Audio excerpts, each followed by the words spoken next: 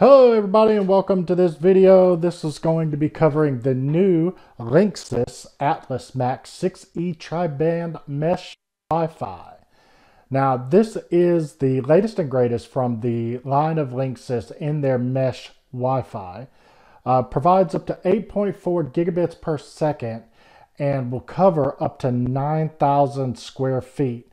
This particular model is the three pack and this will be replacing the tri-band Wi-Fi 5 version that I have here. Uh, so let's go ahead and jump right into it and begin unboxing. All right, let's pop this box open here.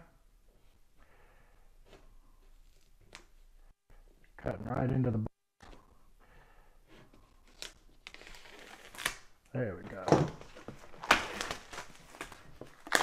Now you're seeing this at the same time that I'm seeing this for the very first time. Let's go ahead and get the plastic off.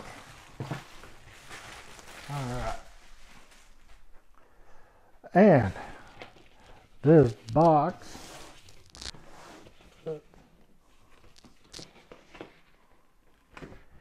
Ah, I see.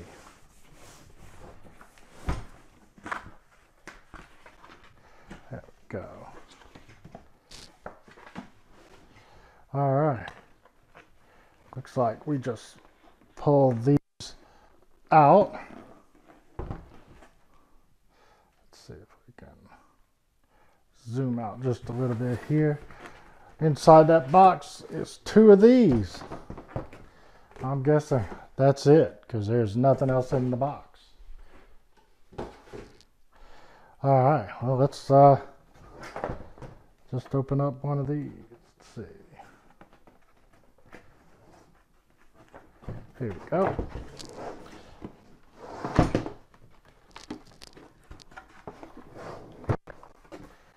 All right, so inside the box here, as you can see, we have a setup guide.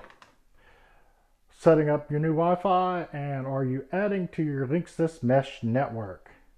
So inside this box, we have looks like a you know just your standard paperwork here you know uh, your regulatory and warranty information. Set that here. Looks like we got three power cables. Those are kind of you know decent size uh, power cables. And wow, this is much bigger than the previous year's model. And yeah, so just to compare, let's move that out of the way. This is the previous model compared to the new model. Big difference. Big difference. So, as you can see, the previous version is a lot smaller and weighs a lot less than the new version. So, definitely, definitely a difference. So, put that out of the way. And that's what we're replacing today. Okay, let's go ahead and open up this second box. Now, based on the weight of this second box, I bet there's two of them in here, and there are. There's one of them. And as you can see on the, the back of it, we got a USB port, four LAN ports, and that's probably going to be the um, Internet Ethernet port uh, and power port. And they all have the same interface at the bottom. There's two. And the third one, same deal.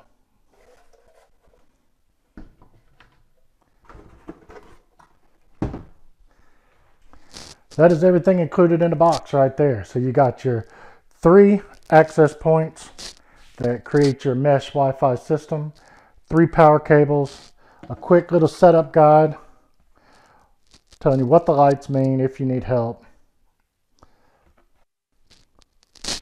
and your warranty and regulatory information right here. So that's it right there. Okay, now that we got everything unboxed, we need to set it up. So to do so, we are going to download the Linksys app. So let me move my camera into a position where you can see the app, and here we go. Now, already in my Linksys app, you'll see that I already have a couple of setups in here. Okay, so what I have done here, what I've done here is I have downloaded the Linksys Velop app and now I am going into the app and I'm going to tell it that I want to set up a new network. So it's going to ask me what type of network are you setting up. Of course, I'm going to say Velop. And now it says use a power source near your modem or source of internet. So I'm going to go take this and plug this first one up to my internet. I'll be right back. All right, it says here, plug in a node. Uh, use a power source near your modem or source of internet. I've done that. I'm going to click next. Uh, place out in the open. Your node will get the best signal if you place it out in the open on a table or a shelf of some kind, and you kind of see that in the picture here. I'm going to click next. Uh, avoid hiding inside or behind furniture. It's just kind of giving you the whole rundown. Uh, and then you click the button that says it's in the open. So I'm to click on it. It says connect your node to your modem or source of internet, which I have done that. So I'm to say it's connected. And now it's going to wake up your node. Make sure that your node is plugged in and that your phone is near it and it's actually right in the next room. So it says this could take up to three minutes, but feel free to walk away. But usually this happens pretty quickly. We're to make sure, there it is. Uh, is the node that's connected to your modem blinking purple? Let's go check. And it says, is the node that's connected to your modem blinking purple? Yes, it's blinking purple. Now it's checking for the internet. It says this could take up to one minute. Don't think it should take that long. Linking to your account. This could take up to a minute. Probably shouldn't take that long. What this is doing right now is it's linking it to my Linksys account. And now I'm going to enter your Wi-Fi name. I'm going to give it a name. I'm going to call it ITG.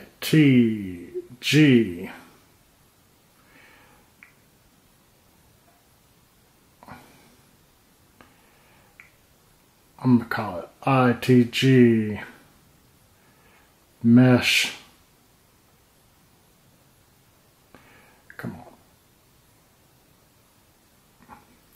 ITG Mesh 6. And I'm going to give it a password.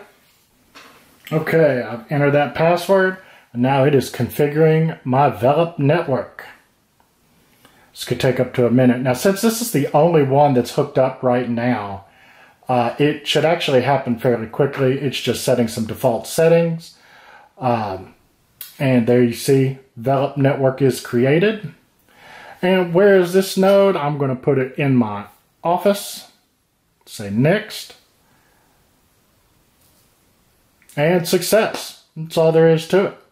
So, I click next. Now I have the option of adding a node or saying that's it for now.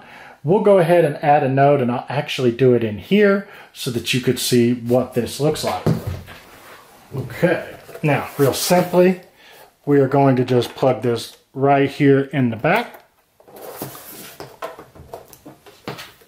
which is a better design than the previous model because the previous model went underneath and would actually cause the cables to really bend at the end. That's, that's the previous model and you can see how it would cause it to bend because of the way it was configured to slide right up under here. And this was a little flap that you'd slide it into. And it would sit inside there and it'd be in that flap and it would bend. Uh, never really had a problem though, because it looks like they reinforced that a good bit. But you just don't ever know. So as you can see right here, this is the flashing light and you know, inside of the setup guide, it's going to tell you, you know, what do the lights mean? If it's blinking blue, it's starting up. When it's ready for setup, it'll be purple, like what you see right there. When the setup is in progress, the purple light will be blinking. When it's connected, it'll be blue. Now, this is considered a child because the main one is connected to the internet in the other room. So if has a weak connection, you'll see that it'll be yellow.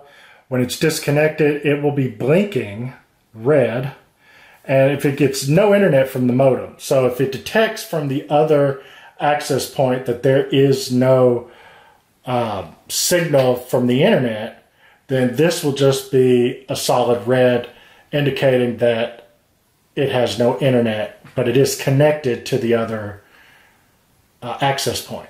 So uh, actually, it's real helpful. Uh, these lights, they're, they're really good. Um, you know, I've actually used them for troubleshooting steps. You know, I can easily look at a node and say, okay, it's solid red, so that must mean my internet's down. And I'll go into the other room, and sure enough, my internet will be down because my service provider is doing something. So anyway, I'm going to go back into my uh, ITG Mesh 6 setup and uh, my phone timed out so it timed out. So it's sitting here at the screen saying it's configuring my network. So I'll just wait for that. And the light will stay purple until we begin the setup on it. Okay so now we're back in the app. And there is a firmware upgrade available. I'm going to update now and then we will come back. You can see there's probably been a few updates going from 1.09 to 1.11. And so that's going to download and happen. And so while that's downloading, uh, I'll come back once it's complete. Okay, so we're going to finish setting up this second node here. Okay, so here we're going to add another node to our network. I want to extend my Wi-Fi with a new child node. And it's giving you an idea of how you should place it. I'm to go ahead and hit next. We have plugged it in. We've got power light on it. Waking up the node, of course, it's already fully woke. Now you can see it's now flashing purple back there. I think you can see that. Yep.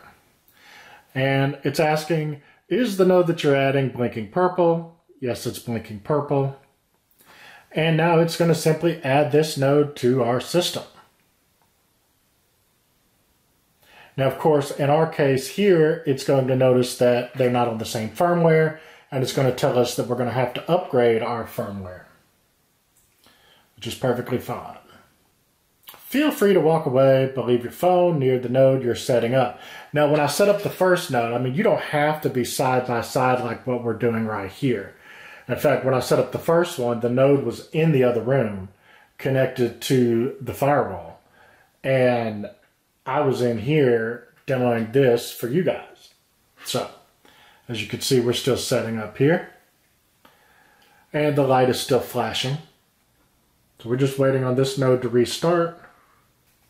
Just waiting on the firmware to finish updating. It's just uh, waiting on to reboot. In fact, we're just sitting there watching the lights. As you can see, if it's flashing red or blinking red, it is disconnected.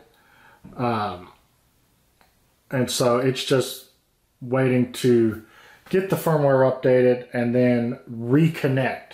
And there you see it just turned blue.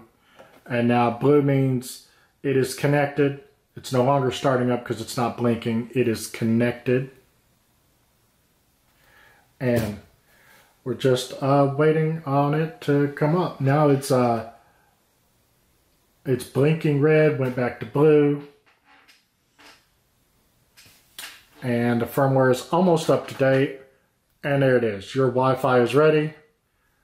Go back to the dashboard, getting the router settings. And there you have it. You can see my devices that are connected. Now, the one thing that I do with the Linksys uh, mesh is that I don't just have one network because not all your devices will connect to the 5 gigahertz or the 6 gigahertz range in this particular model. So what I've done is I've gone in through the computer. I connected to the main router's IP address, 192.168.1.1. Uh, I logged in and I went to Wi-Fi settings and I've actually uh, set it up to where each network has its own Wi-Fi name. And the reason I do that is so that I can choose what I want my devices to connect to.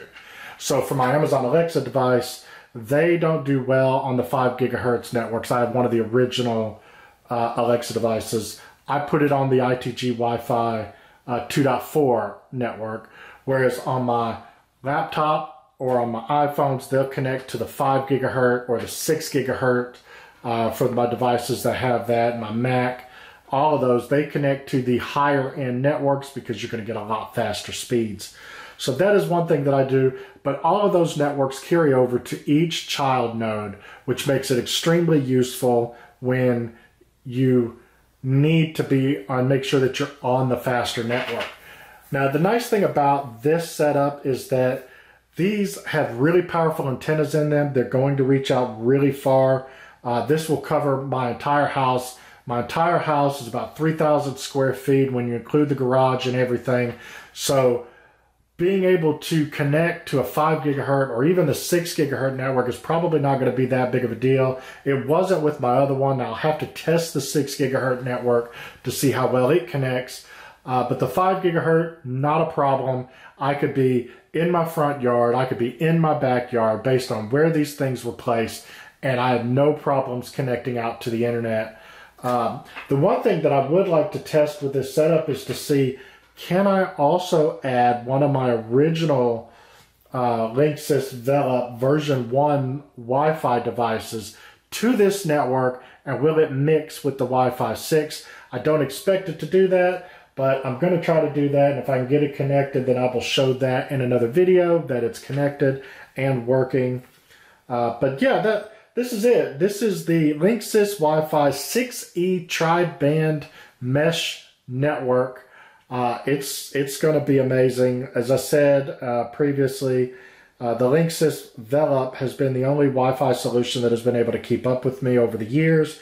I've had my original Linksys Velop uh, version 1 almost since it came out back in 2018, so I've had it for three years and it has stood the test of time as I am a definite power user for the internet. Uh, it has been able to keep up with me and keep the speeds, whereas I've had issues with drop-offs on the Netgear Orbi, and they may have gotten better. Uh, I also had issues with Eero that it would slow down after a while, and then I would end up having to restart the device. Um, and when I got the Linksys Velop, they just stayed strong all the time and no issues. So that's why I kind of kept in that line. And when these became on sale today at Best Buy, uh, I picked it up. It was $799 for all three in the box, which was funny because the two satellite version was 899 and the three was on sale. Uh, it said it was uh, $400 off, I believe, from $11.99 down to $7.99. So I picked it up and uh, yeah, maybe I'll do a video, another video in about uh, a couple of weeks or uh, before the end of the year uh, and see uh, how well it's still working and give you an update video.